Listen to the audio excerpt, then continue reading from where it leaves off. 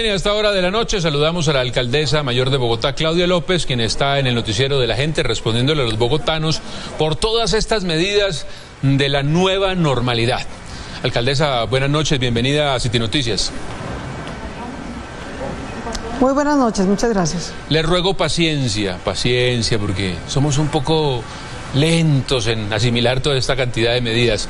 Iniciemos con el tema epidemiológico, que hoy usted lo mencionó bastante. Vimos el análisis que realizó el distrito a la reducción de la velocidad del contagio en todas las localidades una reducción que pues está redundando a esta hora en la ocupación de las unidades de cuidado intensivo. Incluso le hace tomar usted una decisión muy importante para el funcionamiento del centro de atención de Corferias, que dejará de funcionar.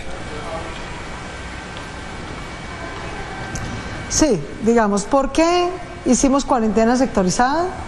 Porque teníamos una altísima velocidad del contagio, cerca de 8.000 pacientes requirieron hospitalización, cerca de 5.000 requirieron UCI, y a ese nivel de velocidad de contagio y ocupación hospitalaria hubiéramos podido colapsar. Gracias al esfuerzo de cuidado colectivo que hicimos por turnos de 15 días, 4 millones de personas siempre pudieron trabajar y dos y medio estuvimos en cuarentena cada 15 días. Ese esfuerzo de cuidado valió la pena, salvamos vidas, logramos pasar el primer pico del contagio sin que nunca colapsara el sistema hospitalario. Lo que viene ahora es una nueva realidad. Ya no tendremos que tener cuarentenas sectorizadas por localidad, dependeremos de la autorresponsabilidad y el cuidado de todos, de la responsabilidad de cada ciudadano, de los empresarios y por supuesto del cuidado que sigamos haciendo desde la Secretaría de Salud. A partir de este jueves Bogotá tendrá un modelo de 4x4. Cuatro días de lunes a jueves operarán el comercio al por mayor, la manufactura y cuatro días de jueves a domingo operarán otros sectores, el comercio al por menor, eh, las actividades de deporte, podremos ir a los parques, a la ciclovía, a los senderos. La educación podrá retornarse poco a poco de común acuerdo con los papás y los maestros tanto en universidades como en colegios. Empezaremos un piloto de restaurantes la primera semana de septiembre para que puedan trabajar al aire libre. Será un nuevo modelo, una nueva realidad de Bogotá que depende de que los ciudadanos se cuiden, los empresarios cumplan y no hagan trampa y entre todos logremos salir adelante. Esa es una de las noticias del día. Una de las noticias del día es el famoso cupo, no el cupo de endeudamiento, sino el epidemiológico para sectores a partir del jueves, como usted lo decía, donde empieza a jugar el comercio y el sector educativo. Usted ha planteado, digamos, esa deuda que tenemos con los niños, las niñas y los adolescentes, de lunes a jueves, que tendremos unas actividades, y de jueves a domingo otras.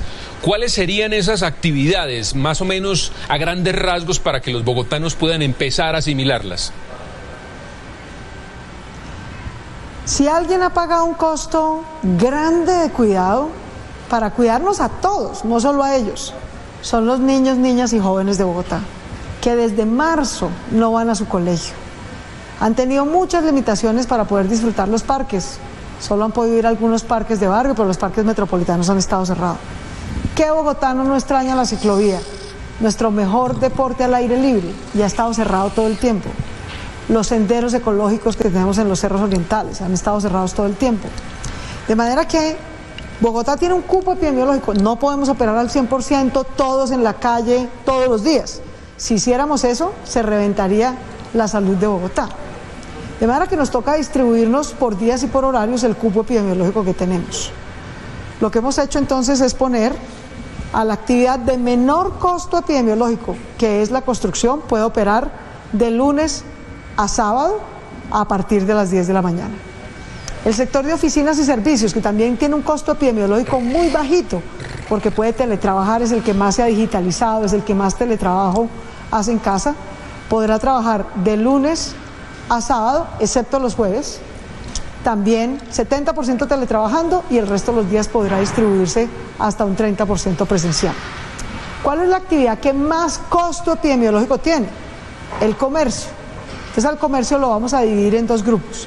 El comercio al por mayor puede trabajar de lunes a jueves y el comercio al per menor, el de la papelería, la peluquería, la ferretería, la miscelánea, todo lo que son servicios no esenciales o comercio no esencial al por menor podrá trabajar de jueves a domingo sin restricción de horarios. Cuando los papás y los maestros se pongan de acuerdo, cumplan los protocolos y los soliciten a la Alcaldía Mayor y a la Secretaría de Educación, podrán usar o lunes a miércoles o jueves, viernes y sábado para hacer un retorno gradual y presencial, nunca en más del 35% del aforo en sus salones o campus, cuando lo soliciten a partir de septiembre. Y la ciclovía, los parques, los senderos, la vida social. Tenemos que aprender a socializar cuidándonos, socializar con tapabocas, socializar con distancia, socializar sin aglomerarnos. Y esa posibilidad va a estar los fines de semana en parques, senderos y ciclovía. ¿Qué hacer con los sectores que no ingresan? El sector de los casinos, de los bares, las discotecas, los teatros, las mismas iglesias están por fuera de ese proceso. ¿Qué ha pensado el distrito para ayudar a esos sectores? No es posible, desafortunadamente, operar al 100%.